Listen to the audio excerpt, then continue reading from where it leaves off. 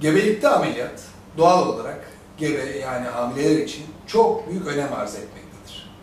Düşünsenize hem annenin sağlığı hem de karın içinde yer alan, rahim içinde yer alan bir bebeğin sağlığı söz konusu. Tabi bu tür durumda anneler, babalar inanılmaz bir tedirginlik içinde bu durumu karşılarlar. Nedir bu ameliyat gerektiren? Kimi zaman bir safra kesesi problemi, kimi zaman bir apandisit problemi, kimi zaman da rahim ve üreme organlarına ait sorunlar buna neden olabilir. Günümüzde çoğunlukla apandisit ve safra kesesi problemlerini gebelikte sıkça görmekteyiz.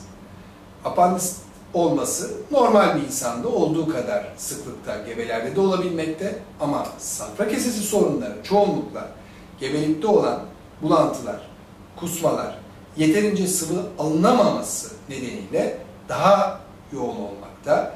Burada safra sıvısı yoğunlaşmakta, yoğunlaşmasına bağlı çamur ve taş oluşmakta. Buna bağlı da safra kesesinde iltihap oluşmaktadır.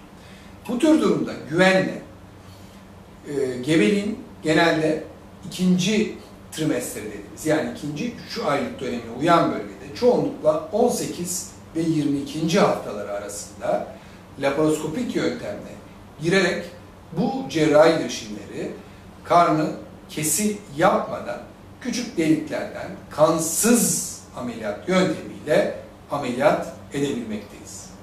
Gebelerimizin bu tür bir girişime gereği kalmamasını diliyor ama gerek kaldığında da bunun güvenle yapılabildiğini bilmelerini istiyoruz. Sağlıklı ve huzurlu günler